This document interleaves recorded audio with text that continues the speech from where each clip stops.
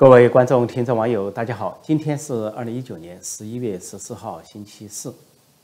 关于制造假新闻、煽动中港两地对立和仇恨的《环球时报》和胡锡进，党媒党编，他们呢，终于踢到了墙板。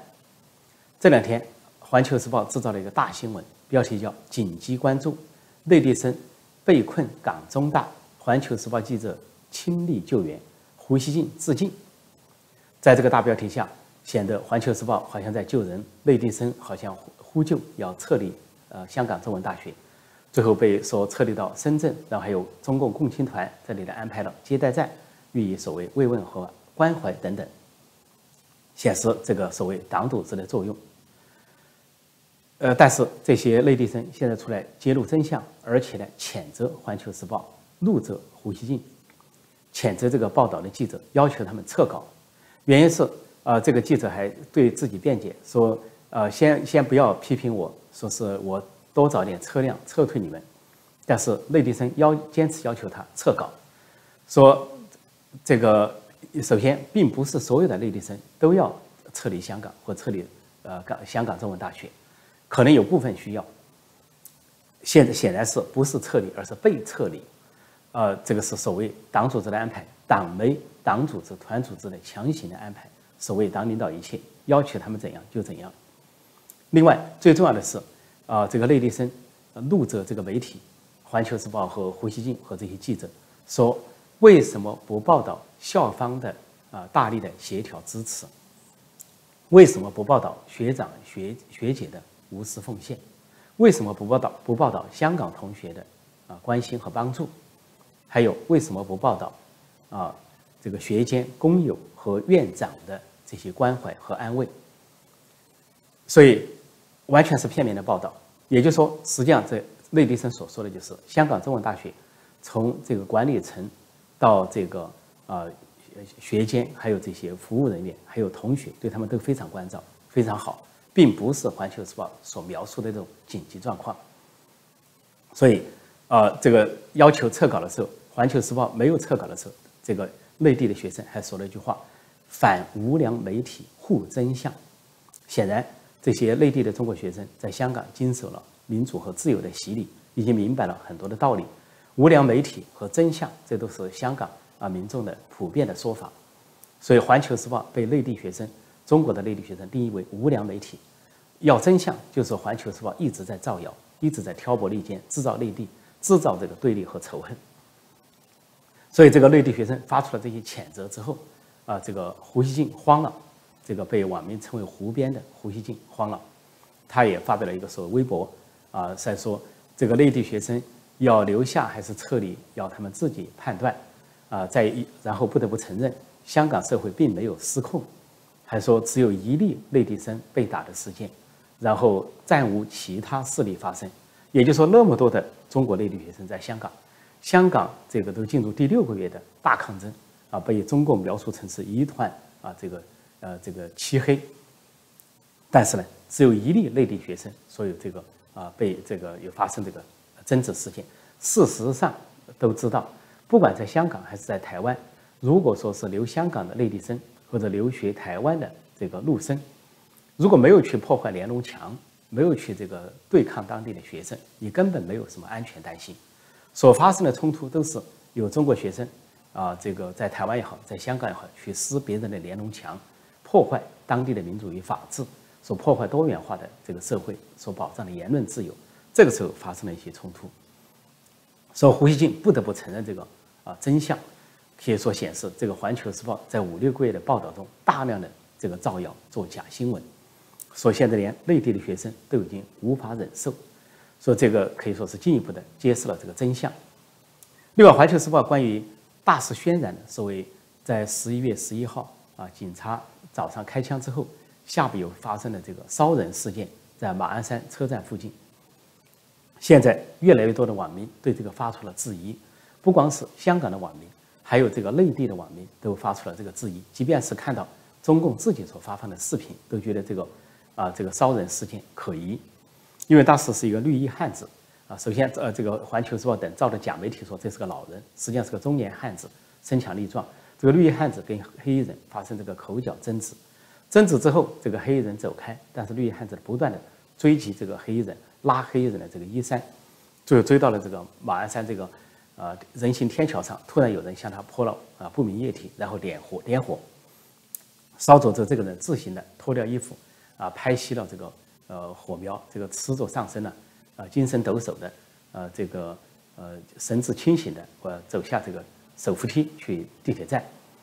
那么这里的疑问就在于两点：如果说泼的是汽油或者是酒精这一类，那这个人啊，可以说不是烧死就是重伤，当场就会倒下。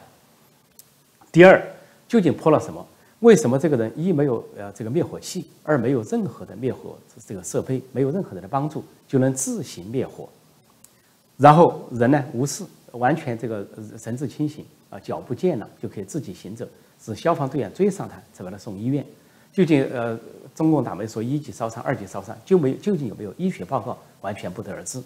而且谁泼了所谓不明液体，完全不得而知。警方那么神通，到处抓人啊，就抓住了这个青年，抓住了那个少女啊等等，压在街上。为什么就啊这么重大的案件就抓不住人呢？说这个疑问就来了，就跟这个亲共议员何君尧说当街遇刺是自导自演一样，已经穿帮。这种这个在马鞍山这个烧人事件也有可能是自导自演，因为在拍摄电影的时候，大家都知道拍摄电影有一种技巧，就是拍人自焚或者是被烧死，他们有一种啊这个特殊的这种液体，然后特殊的一种啊火焰的方式，但是呢，燃烧制造燃烧的画面，但却不会伤到这个本人，然后这个呃这个本人就可以把这个火火种灭掉，所以在电影中经常用的手法，说中共是惯于表演。啊，中共的特工啊，地下党更是惯于表演，不排除的一种可能，又是一场自导自演，啊，不管是这个绿衣汉子，还是旁边给他啊这个泼不明液体点火的人，都可能是中共的自己人，然后故意去挑衅黑衣人，去纠缠黑衣人，然后点了这个火，想来激起这个港人的这个这个这个或者民怨，或者更多的是激起中国内地的这个仇恨和对立，说是这个内地的互联网上。什么都不开放，唯独就开放对这啊两件事情的这个议论纷纷。一个就是对啊什么有人点火烧人了啊不得了了，恐怖分子了。然后还有一件事情就是只播几秒钟的几秒钟的这个交通警啊抱住一个青年男子勒住人家的脖子，然后就说有人要夺枪了，然后就这个警察就乱射了等等，然后夺枪，然后警察自卫了等等，就这两个在中国的互联网上这个流行。但是很多关于香港的报道，不仅是片面报道，不仅是抹黑报道，而且呢，这个是下面屏蔽了这个评论功能，甚至一些少女被抓捕，这到处都称暴徒啊，这个被轮奸的少女也是暴徒，任何被抓捕的青年都是暴徒，甚至是啊十多岁的孩子都是暴徒。现在有人发布相片，呃，这个全副武装的这个警察压着一个纯洁无瑕的少女，然后就在旁边说：“这就是。”啊，这个所谓的香港暴徒吗？你们相信这个少女就是暴徒吗？所以这就是这个中共媒体啊，一这党媒一贯的这个抹黑手法，煽动仇恨、煽动对立，实际上是另一种暴力，语言暴力、精神上的暴徒。胡锡进等人口口声声把香港的抗争者是暴徒，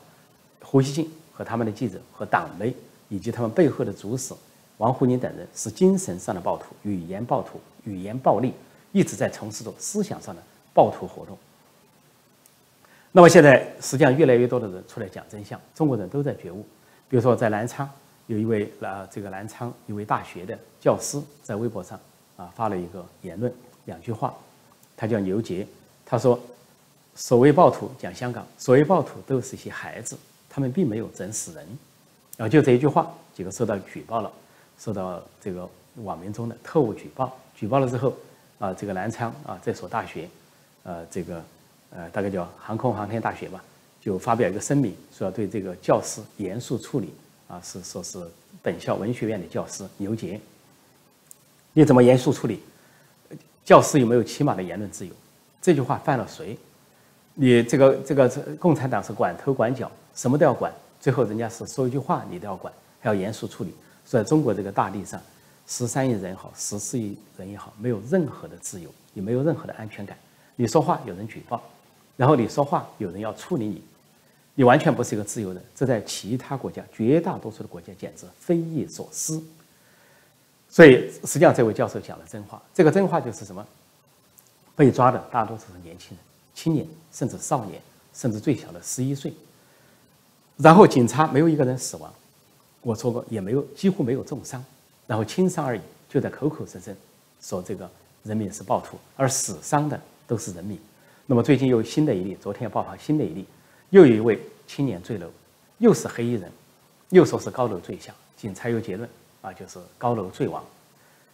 究竟是怎么坠亡的？是坠亡还是被坠亡？自杀还是被自杀？这已经是啊，这个香港抗争五个多月啊，六个将近呃这个六个月以来，进入六个月以来啊，一百多起自杀事件的又一起，大多数都被宣布为自杀，实际上是被自杀。但是我没有听到一个警察自杀，没有一个官员自杀。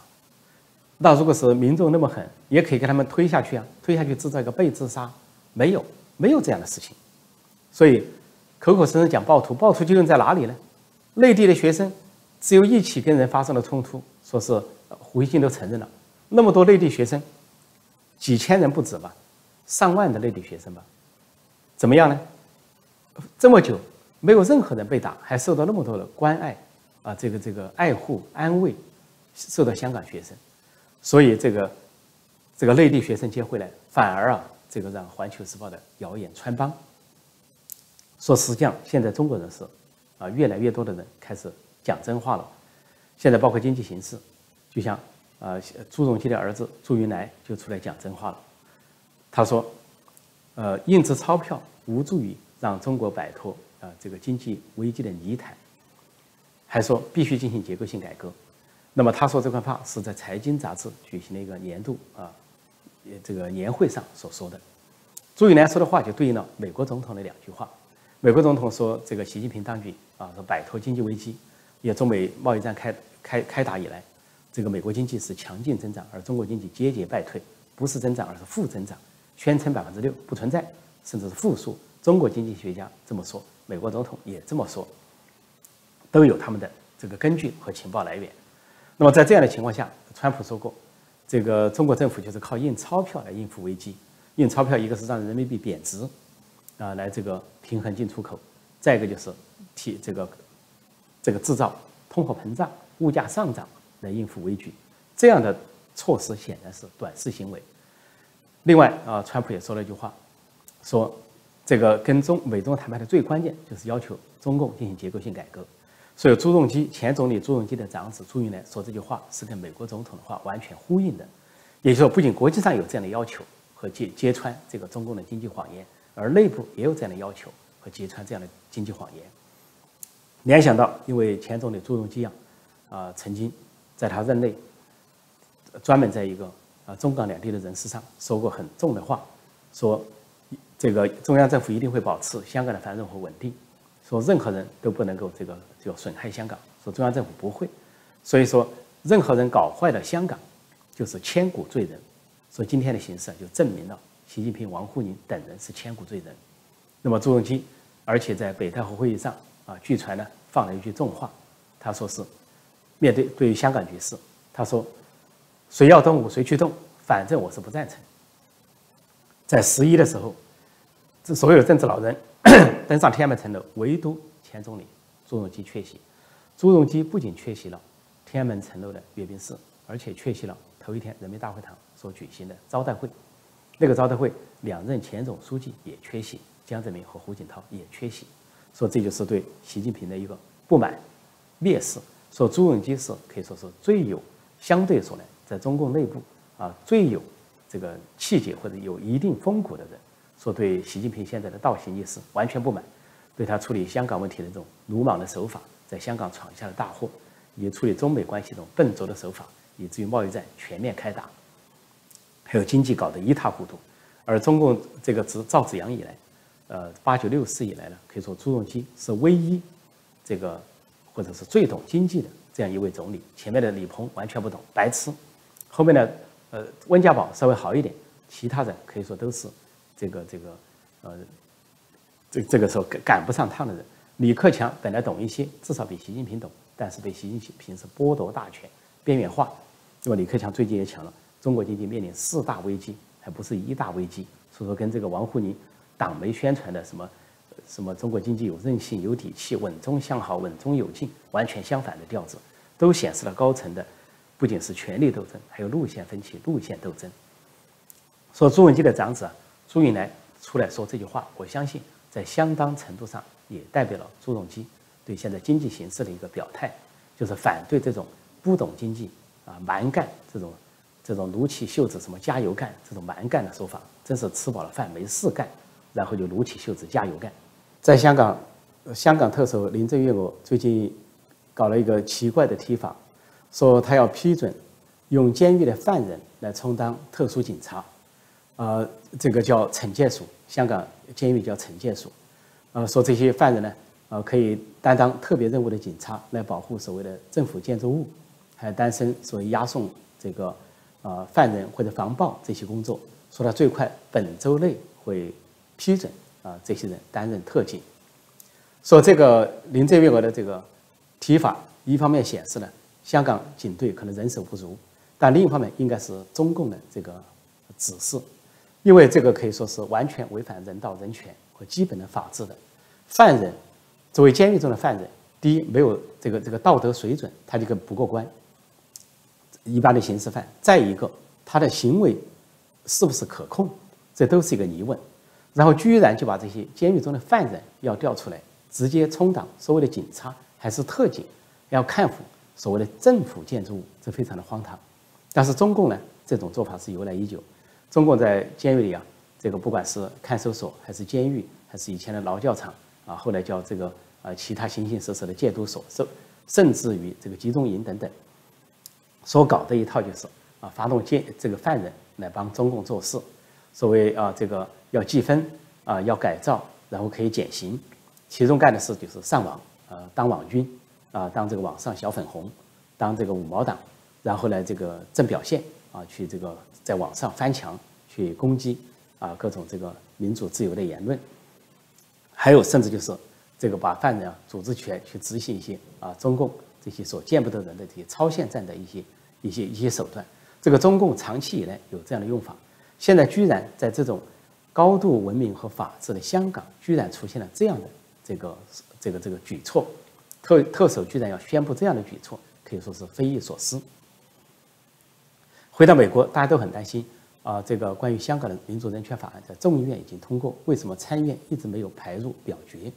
那么都怀疑呢，参议院的多数党领袖麦康奈尔，因为他的太太是赵小兰。他们的家族福茂公司在中国有大量的生意，是否中共给他们有压力，有私下的这个沟通，然后施压或者是利诱，呃，让这个参议院呢，这个法案在参议院受阻。那么昨天呢，呃，参议院的共和党议员路比奥啊发表推文表示呢，他开了一个，他跟这个麦康奈尔和其他议员开了一个闭门会议，说这件事有推进，有重大的推进，说渴望呢，呃，尽快让这个法案排上这个议事日程。那麦康奈尔也同时做了个表示，他谴责了中共和中共的这些啊警察在香港的暴行，并且呢，他说他跟行政当局是紧密合作，而且反对啊中共啊在这个呃在中国和香港建立奥威尔式的这种世界。奥威尔就是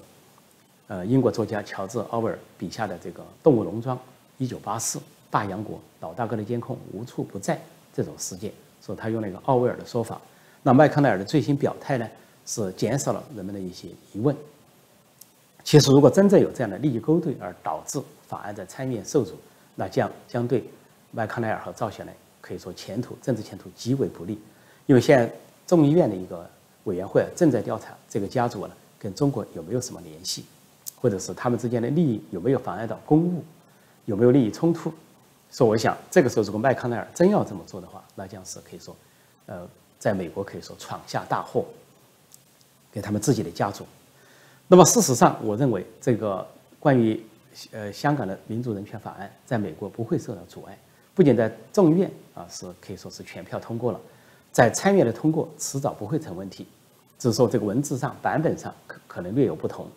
因为这是一个强大的民意，啊这个朝野有志一同，啊这个不分党派，共和党啊这个民主党都有志一同，立场高度一致，对付中共。还有这个行政当局，呃，这个即便川普为了这个协议的第一阶段协议啊，暂时啊有一些这个策略性的考虑，但是整个行政当局包括国务院绝对不会放过中共在香港的这个啊这个这个恶行恶状。说最终这个关于香港的民主人权法案，通过众议院、通过参议院、通过总统签署成为正式法案，应该不是问题。这是可以说是民意所在、民心所向。这个美国毕竟是一个民主国家，所有的政治人物他都要遵从民意。所以啊，这些事情都在还在国际上推进，而且美国跟中国之间、跟中共之间的这种攻防一直在这个进行。比如最近两天，啊，前两天，美国的一艘军舰啊，一艘导弹巡洋舰再次的经过台湾海峡，外交辞令上是宣示印太地区的航行自由。但事实上就是警惕这个台海，这个拱卫台湾，因为中共有一个企图，习近平当局有个所谓的红色帝国的企图，以为先是要拿下香港一党专政，然后下一个目标是想拿下台湾，呃，以为这个美国的军力啊，这个不能够及时的支援台湾，中共可以造成既定事实。最近美国的议员一个霍利就表示说，如果中国中共以为可以攻打台湾造成既定事实的话，让国际社会来承认。所以不要忘了，美国有预案，说中共将面临一个巨大的战役，巨大的战役，